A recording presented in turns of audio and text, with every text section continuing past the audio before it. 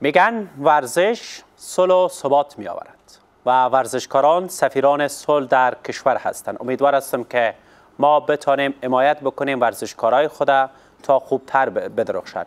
قسمی که شما شاهد هستین. از کرکت شروع تا رشای مختلف ورزشی که در این اواخر درخشش خیلی خوبی دارن.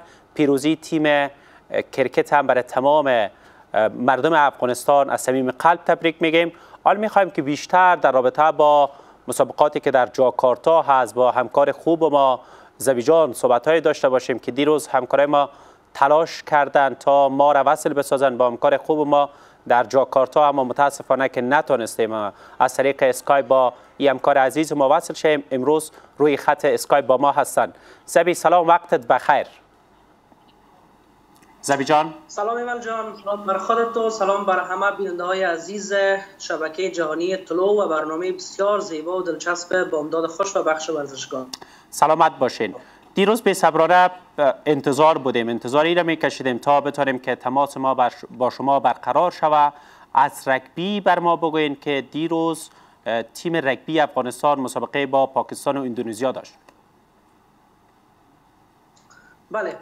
رگبی افغانستان بر اولین بار در بازی آسیایی اشتراک کرد و تجربهش بود در بازی آسیایی کلانترین رویداد ورزشی قاره آسیا. خوشبختانه دور از انتظار یعنی انتظار از این نداشتیم که قدر ظاهر بسیار یعنی بدرخشن در اولین بازی خودان ما با کوریا دو طلای بازی آسیایی را داشت باختیم. در بازی بعدی ما امارات بسیار با نتیجه عالی 36 بر صفر شکست دادیم بله. اما در بازی دیگهش که بسیار سرنوشت با سریلانکا که تیم چهارم آسیا است ما رقابت واگذار کردیم و نت کنیم از مرحله گروهی ولی در مسابقات کلاسیفیکیشن بین مقام های نهم تا دوازدهم چانس پیدا، چانس راهیابی پیدا کردیم که در اون مسابقات بازم امارات 50 بر صفر بردیم بله. و در بازی بعدی پاکستان را موفق شدیم که با نتیجه عالی 15 بر 7 شکست به تیم پاکستان در ranking جهانی است و ما تا به حال در ranking که از طرف فدراسیون جهانی رگبی اعلام شده در ranking نبودیم و خوشبختانه با این پیروزی ها می‌تونیم که ranking به دست بیاریم بله.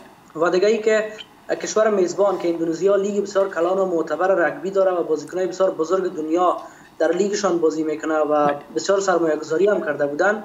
ما اندونزیا را هم تونستیم که با نتیجه 29 بر 12 شکست بتیم در خود جاکارتا. با حضور داشته همه تماشاچیانشان و در نهایت تمام کشورهایی که بر کسب مقام نهم می‌خواستن با افغانستان رقابت بکنن اونا را بردیم و مقام نهم را بر اولین بار در تاریخ حضور خود به دست آوردیم. و که به نظر ما یک درخشش فوق العاده بود با چهار پیروزی و دو شکست. بله. رگبی کاران ما از یعنی با مسابقات ودا کردن. بله. زبی عزیز بین از هم صحبت بکنین از کاروان ورزشی افغانستان صحبت بکنین که چند مدال ثبت کارنامه کاروان ورزشی افغانستان شد در این مسابقات جاکارتا. خب قسم که شما اطلاع دارین بازی آسیایی کلانترین رویداد است و تا به حال هشت کشور نتونسته از این رویداد هیچ مدال به دست بیاره. و خوشبختانه که در میان او کشورهای ضعیف و فقیر از از هر لحاظ اما افغانستان دو مدال برونز تونست که به دست بیاره و نزدیک به ده ورزشکار ما سر مدال باختن. ورزشکارای ما در رشته های ووشو و همچنان کرش موفق شدن که دو برونز بیارن خالد اوتک با پیروزی مقابل حریفان از لاوس و پاکستان. تانست که بر اولین بار در رشته ووشو افغانستان را صاحب مدال بازی آسیایی بسازه قبلا در تاریخ بازی ما در پهلوانی و همچنان تکواندو کرکت مدال داشتیم. اما چون شورای المپیک آسیا به خاطر هزینه زیاد کرکت برمی‌داشت کرکت حذف کرد. کاش کرکت می بود که بازم بر سومین بار ما می‌تونستیم مدال بگیریم. و در رشته کرش منصور سروری بسیار عالی ظاهر شد. تقریبا چهار روز پیش افغانستان صاحب دومین مدال برونز ساخت بر اولین بار کرش شامل بازی آسیایی شده بود از طرف شورای المپیک آسیا که منصور سروری حریفای بسیار قدرتمندش از کشورهای ترکمنستان همچنان ایران و قزاقستان شکست داد و برای ازبکستان که دو دونه طلای جهان داشت باخت و بازم باعث افتخار شد بله. پنج پش کرشکار دیگه ما سرمدال را پیدا کردن کشورهای بسیار زیاد و قوی و نیرومند دنیا را شکست دادن ولی ما متاسفانه که نتونستیم مدال بگیریم زیادتر و از او خاطر تلاش داریم که انشالله که در رویدادهای بعدی بتونیم مدال بگیریم.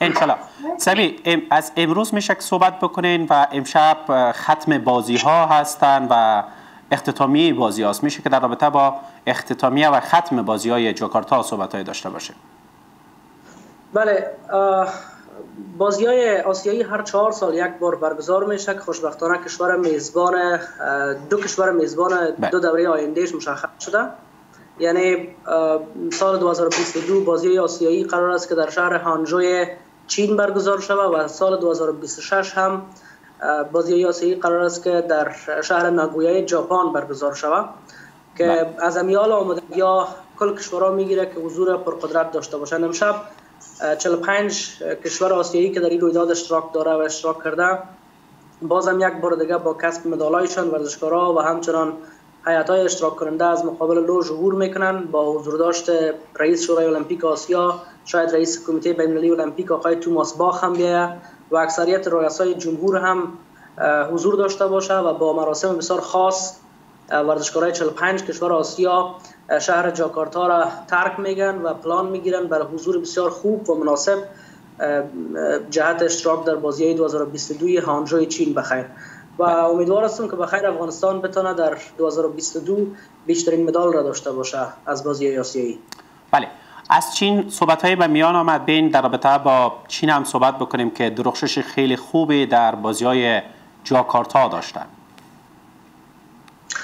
بله کشور چین 132 مدال طلا بله. گرفت و پرقدرت در صدر کشورهای مدال بگیر قرار گرفت و بیشتر از 264 مدال تانستن که به دست بیارن در رشته‌های مختلف چین در بسکتبال که چهار مدال تقسیم میشه بسکتبال انفرادی ببخشید بسکتبال سه نفره دختران و پسران و همچنان بسکتبال پنج نفره دختران و.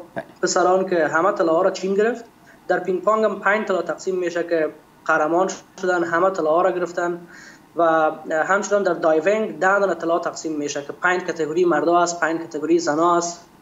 کل طلا را در diving هم گرفتن.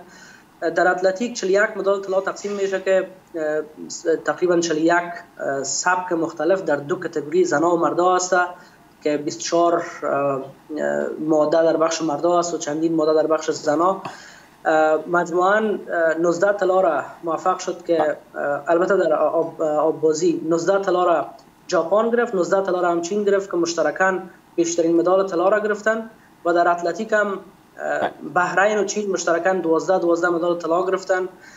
کلا چینایی ها با یک اختلاف بسیار کلان و بسیار زیاد یعنی 132 مدال در مقابل 74 مدال ژاپن را شکست داد. و ژاپن دوم شد چین اول شد کوریا سوم شد و همچنان کشور اندونزیای میزبان که یک رشته بسیار جالب سنتی خودشان است که فقط خودشان در این رشته مهارت داشتن و شورای المپیک آسیا به این کشور چانس داده بود که یک رشته را می‌تونن انتخاب کنن بیارین در بازی ها. رشته پنچاک سیلات را وارد بازی ها کرده بودن که از مجموعه کل طلاها 14 مدال طلا را تنها پنچاک سیلات اندونزیا گرفت. و با 31 مدال 31 مدال طلا اندونزیا بعد از کشورهای چین و همچنان ژاپن و کوریا چهارم شد و دوره قبلی اندونزیایی ها هفدهم شده بودن با چهار مدال طلا این بار چون میزبان بودن و داورا هم و به یک نوع کل سیستم مسابقات قسم بود که کوشش می‌کردن که اندونزیایی ها زیادتر, زیادتر مدال بگیره و با 31 مدال چهارم شدن بله. ازبکستان گذشت بسیار خوب داشت و از از جایگاه 11 که در دوره قبلی به دست آورده بودن 9 طلا داشتن. این بار ازبک ها موفق شدن که 21 مدال طلا بگیرن و ایران که در دوره قبلی بیشترین مدال طلا را در کتگوری پنجم داشت شکست بده و با 20 مدال ایران ششم شد. و بله. کلا سبی عزیز همکارای ما اشاره می‌کنن باید با خودت خدافزی بکنیم. تشکر از ای که معلومات بیشتر در رابطه با بازی های جاکارتا و بازی های آسیایی بر ما دادین. سپاسگزار هستیم با امید دیدار بخیر برگردین بین تشکر. وقت شما خوش. بخیر بسیار تشکر. بازوی در جاکارتا خداحافظی می‌کنیم وقفه می‌گیریم. پس از وقفه دوباره برمیگردیم.